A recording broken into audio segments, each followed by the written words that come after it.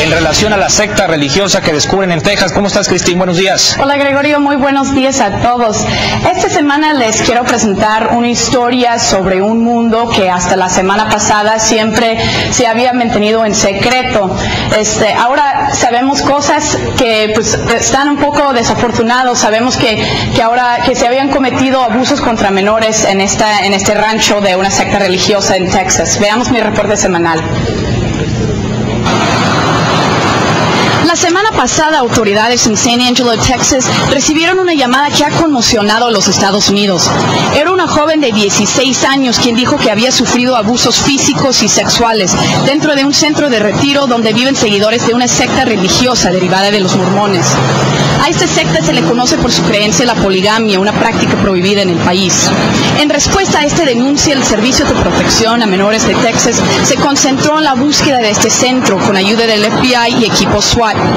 Ahí rescataron a 416 jóvenes entre 6 meses y 17 años de edad. Había 52 niñas, muchas de ellas emparentadas entre sí, incluso con los mismos nombres, y algunas están embarazadas o recién han dado a luz. Ahora se conocen más detalles sobre la terrible vida dentro del rancho de la secta. La joven que llamó a la policía es la séptima esposa de un señor de 49 años, identificado como Dale Barlow, quien la forzaba a tener relaciones y le propinaba golpes hasta quebrarle las costillas. Otros niños también sufrían severos castigos dentro del rancho. A veces fueron encerrados en armarios sin comida y luego recibían golpizas.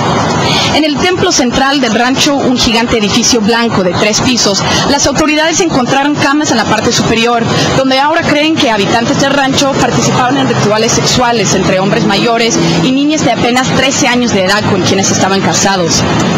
El rescate la operación más grande en su tipo en la historia del estado de Texas.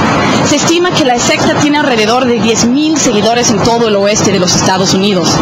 Por el momento, los jóvenes están bajo la protección del Estado mientras autoridades toman las decisiones sobre su futuro. Christine Waller, Las Noticias, Televisa Monterrey.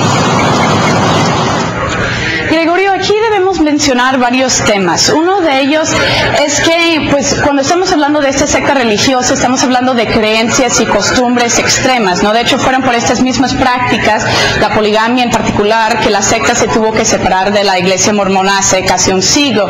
Y, pues, del otro lado, el tema más importante aquí es la, la seguridad de estos niños. Pues, ¿cuántas de estas no habrá? Ojalá que sigan las investigaciones. Cristina, de esto estaremos pendientes. Muchas gracias por tu reporte. Claro que sí, nos vemos la siguiente semana. Muy amable, Cristina Waller.